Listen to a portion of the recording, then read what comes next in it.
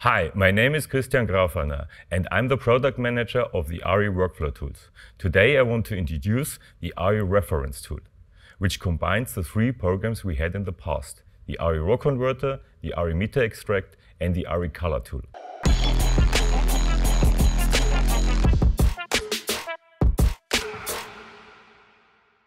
You can download the ARRI reference tool from the ARRI website. When you go to Learn and Help, and then to Camera and Workflow, and then to Software and Tools, and scroll down to the bottom, you will find two links. One for the Mac version and one for the Windows version. Now let's take a look at the new ARRI reference tool. The following features are included in the first release. We are not only supporting ARRI clips from the current cameras, we are also supporting ProRes clips. And of course, all recording formats from the new camera Alexa 35. When we load an Alexa 35 clip into the viewer, we will be using the new ARRI Image SDK for processing the ARRI RAW image. The ARRI RAW clip will be shown in the new LogC 4 format and can be converted to SDR and HDR color spaces by using the new Alexa 35 color management.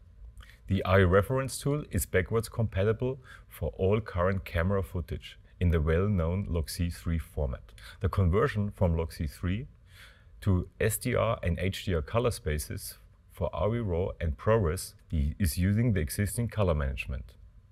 In addition, it supports all HDE file formats. The metadata panel is completely redesigned and shows the entire list of camera metadata. The metadata items have been reconstructed into new sections like camera, sensor, recording, and so on. And it also includes new items in the optics section, such as effective focal length or entrance pupil offset. You also can see the name of the applied ARRI texture in the processing section.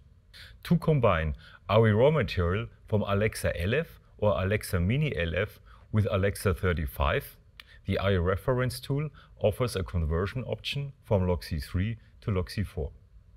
The functions you know from the ARRI color tool are now located in the new look room. You can apply or view embedded looks or create new ALF2 or ALF4 look files. The new Alexa 35 look library for LogC 4 is included. You can also find the ARRI look library for LogC 3 content, which previously was only available in camera. So if you convert LogC 3 material to LogC 4, you can now also use the new ARRI look library. The last thing is the redesigned render room. All settings from the view and look room are transferred to the render room. Once the clips are placed in the render queue manager, they are locked from changes. For a final review, you can watch the clips in the render room viewer. The render formats are Apple ProRes, OpenEXR, and TIFF. If you export an Apple ProRes clip, it will be wrapped in MXF, identically to the Alexa 35 MXF metadata format. For multiple render outputs, you can define separate render targets. For the extraction of metadata, we are using a new file format which includes static and dynamic metadata. That's it. For more detailed information, stay tuned for a couple of upcoming Tech Talks. Thanks for watching.